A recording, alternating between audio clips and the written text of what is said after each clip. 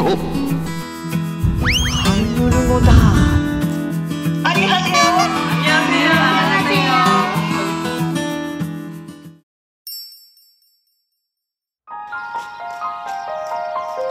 途中で割れないで無事にこちらへ着いたってことが不思議ですよね。風船にねこう韓国のあのハングルのあの字がね、えーちょっとはっきりあの読めましたので本当にびっくりしました。はい。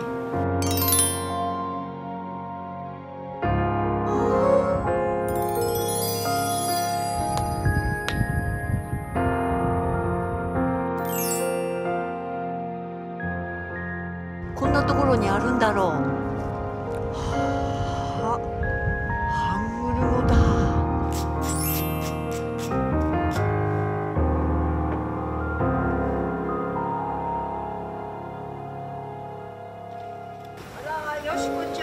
した？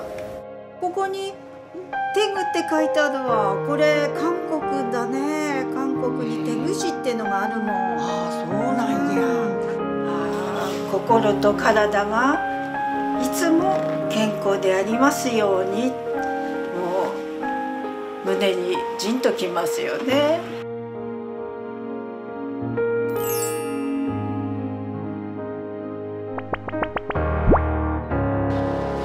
네, 실례하겠습니다.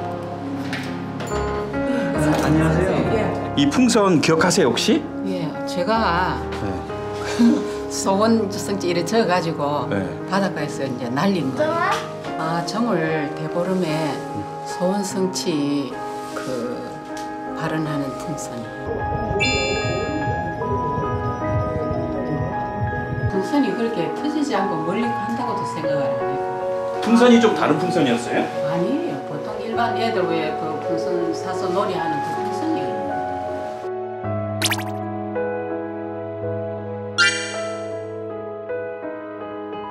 기본적으로 대기의 흐름 자체가 한국과 일본의 편서풍 지대에 속하고 있습니다. 그러니까 이론상으로는 편서풍을 타고 가, 가는 게 가능하지만 실제적으로는 뭐 풍선이 쉽게 터질 수 있잖아요.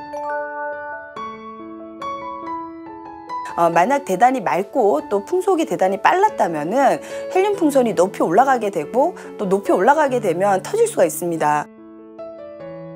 그 포항의 칠포 해수욕장에서 풍선을 날렸잖아요. 근데 그때 당시에 풍속이 한 1.7m/s 정도로 좀 느린 편이었고요. 또한 습도가 88% 정도로 높으면서 비가 살짝 내리는 상태였습니다. 느린 풍속과 높은 습도 때문에 일정 고도까지만 올라가게 되고 그 이후에는 동쪽으로 이동할 수 있는 조건이 된 겁니다.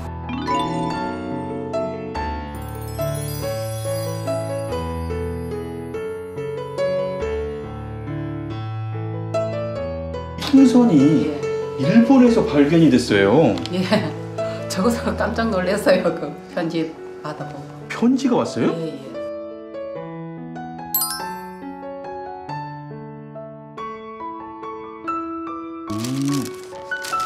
어?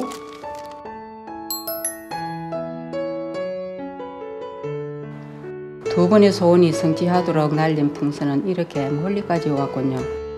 올해는 따뜻한 겨울이라서 눈도 내리지 않고 풍선도 무사히 일본까지 날아왔다고 생각합니다. 일본에서도 두 번의 소원이 성취되길 바랍니다. 앞으로도 행복하게 건강하게 보내도록 바라고 있습니다. 어떻게 편지를 쓰실 생각을 하셨어요? じゃあ出さないと願いが成就しなくなっちゃったら困るわと思ってこうやってあの書いたんです。 이거 쓰시는 데는 얼마나 걸리셨어요? 長いことかかって3日はかかってます一日中座って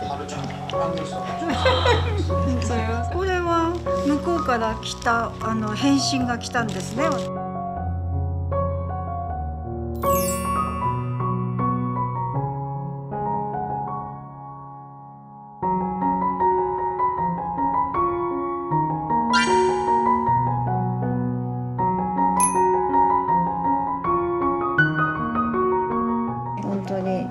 思議な風船が持ってきてくれた不思議ですね 大事にしたいです。はい。